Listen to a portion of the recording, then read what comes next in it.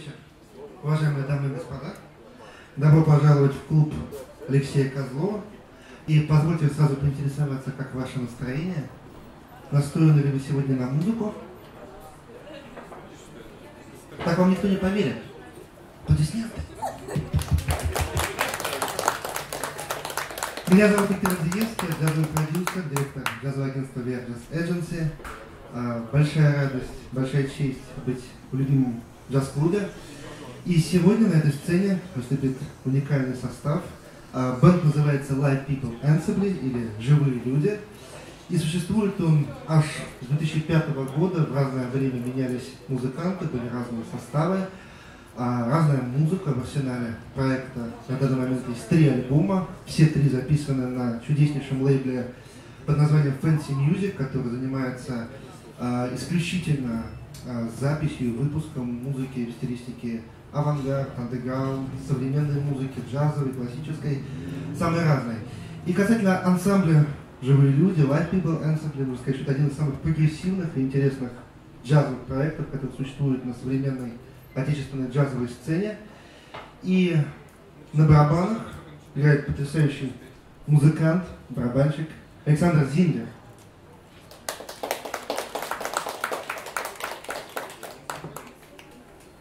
Когда Александр играет, соло особенно, возникает такое ощущение, что он начинает вздыматься над барабанами и своего рода левитировать. Вы можете наблюдать это в процессе концерта, особенно в момент соло. На контрабасе впервые в рамках этого проекта маэстро Сергей Васильев. Второй раз уже, да, второй раз. Юрий Севастьянов, тенор-саксофон.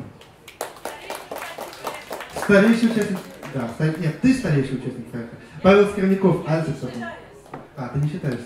Бандилер проекта, идейный вдохновитель, лидер Наталья Скворцова. Наслаждайтесь музыкой, получайте удовольствие. Спасибо, что вы сегодня с нами. На сей счет начну э, с маленького анекдота. Э, не, знаю, не знаю, анекдот это или э, самодельная история. Э, спор Маяковского с Хлебниковым, э, с Хлебниковым, диалог Маяковского с Хлебниковым. Маяковский говорит, да такой, как я, только один. Хлебников отвечает, а таких, как я, вообще нет.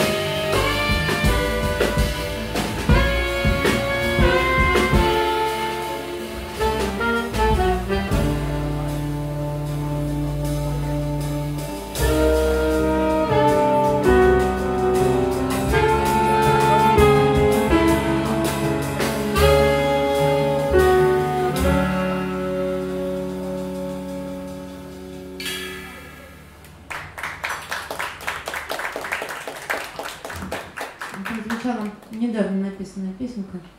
А, вчера на концерте я придумала название, прям-таки вчера, «Колыбельная бессонница». До этого называлась «Колыбельная», просто такая немножко экспрессивная колыбельная. Сейчас, сейчас прозвучит пьеса, которую мы уже играли а, в разных составах, в разных аранжировках. Наконец она прозвучит в квинтете. Композиция называется «Черный».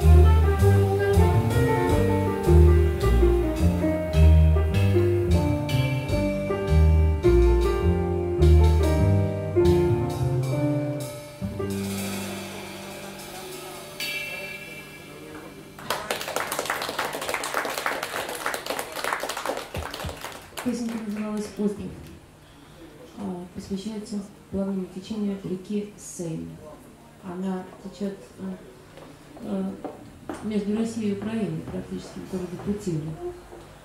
А, а сейчас мы собираем известную мелодию, джазовый стандарт. Композиция называется «Рекордный мед».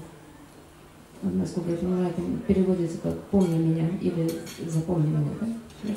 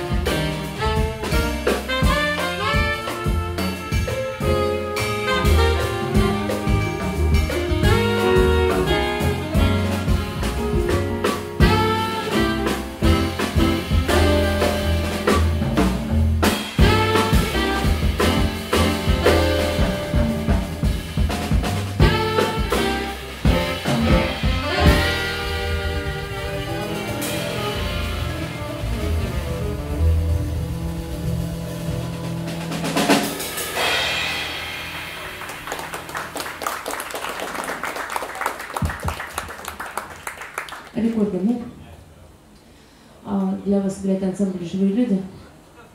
Юрий Севастьянов, тенор саксофон.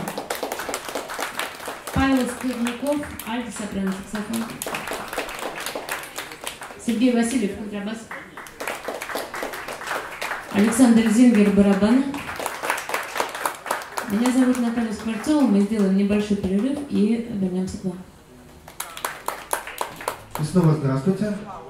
А, мы плавно перетекаем во второе отделение нашего концерта. И хотелось бы сделать небольшую ремарку, сказать пару слов о том, что последние 30-40 лет э, в джазовой индустрии, в мировой джазовой музыке наблюдается определенная тенденция а, на возрождение элементов этнических и национальных традиций музыкальных. Они долгое время существовали, долгое время что-то правили бар в мировой музыке, но после этого э, появился масс-поп.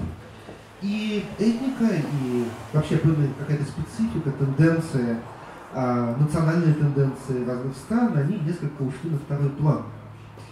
И вот 70-е годы вместе с появлением стиля фьюжн и world music э, эти тенденции снова вернулись, вышли на, пер на первый план.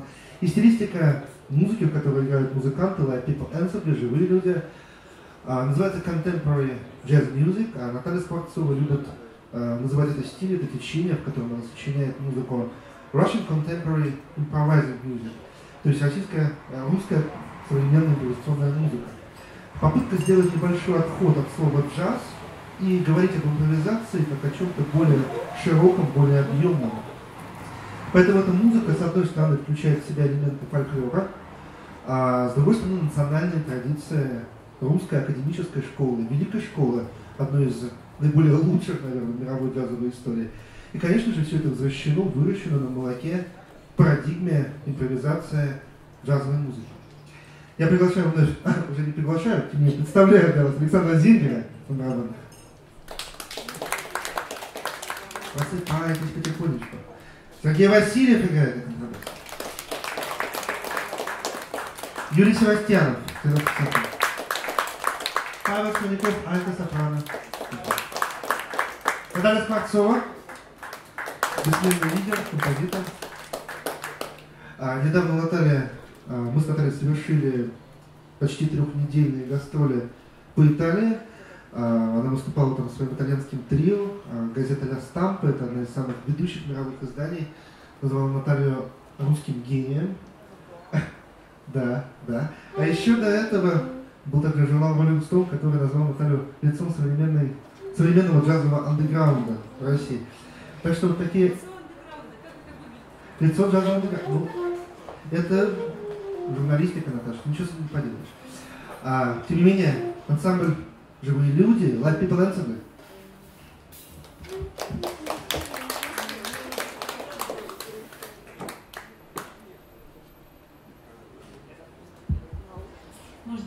хотела бы чуть-чуть дополнить. Э, к фольклору всегда обращались все уважающие себя образованные люди, академические композиторы русские, и джазовые музыканты, композиторы. Тот же самый Джон Колтрейн э, изучал фольклор, насколько я понимаю, и африканский, и индийскую музыку. Э, то есть, пожалуй, началось это с него, я бы сказала, в джазе. Ну да, такой музыковедческий спор. А, тем не менее, э, джаз э, вырос в Америке и потом уже распространился э, по всему остальному миру. Мы сейчас играем композицию, которая называется «Западный ветер». Западный ветер, некое такое веяние к нам оттуда.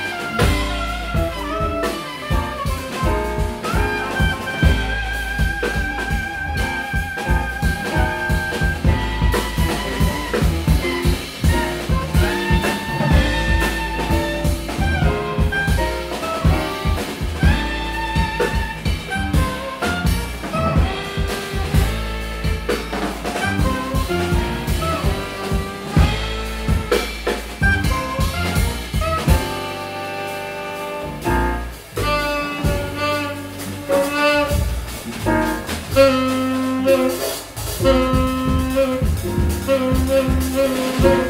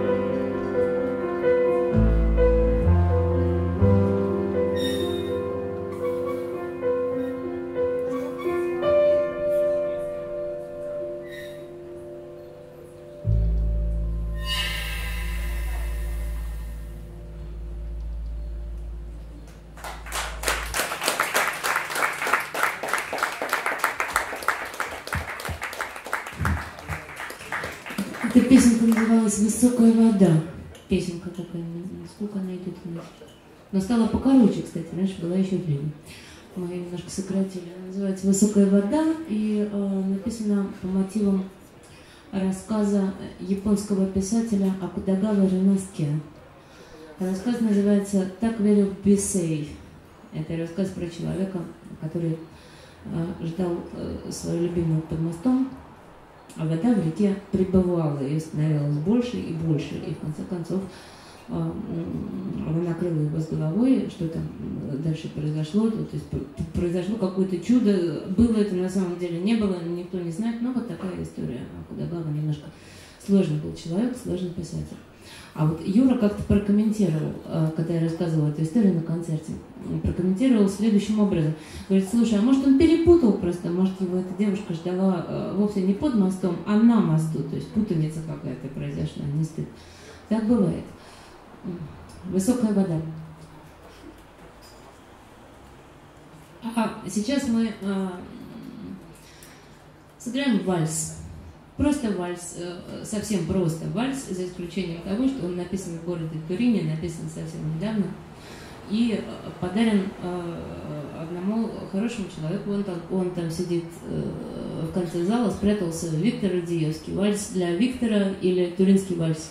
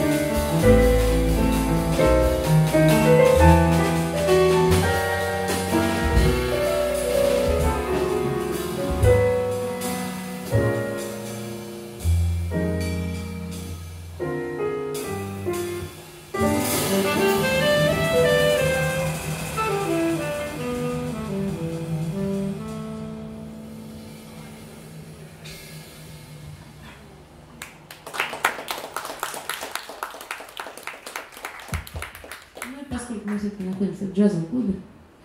А, мы завершаем свое выступление э, аранжировкой джазового стандарта очень известного. А, композиция называется «Оля», он написал ее Соня Роллинс.